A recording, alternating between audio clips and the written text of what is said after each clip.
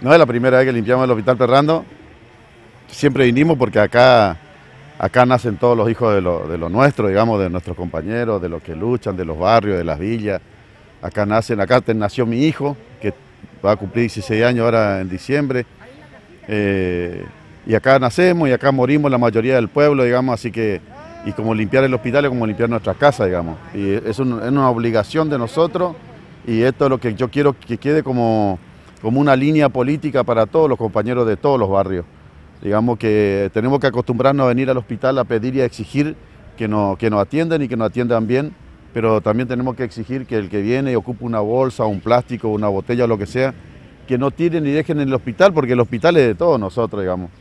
Y, y le tengo que decir a los compañeros de los barrios que así como nosotros marcamos una línea de cuidar, de limpiar el hospital porque es de todo, digamos, porque no, la mayoría no, no no podemos ir a los sanatorios, eh, no porque nos quieramos ir, sino porque no, nos da el cuero, no nos da la moneda, y entonces tenemos que venir acá, ¿quién vienen acá? Los polleros, los parrilleros, los carreros, los ladrilleros, eh, los pancheros, los churreros, todos los héroes venimos acá a nacer, eh, a curarnos, a vivir y a morir. Así que es una obligación.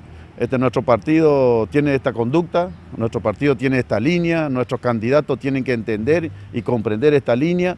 Luego de haber realizado estas actividades, ¿cómo piensan continuar, eh, ya teniendo en cuenta que ya se está cerrando la campaña?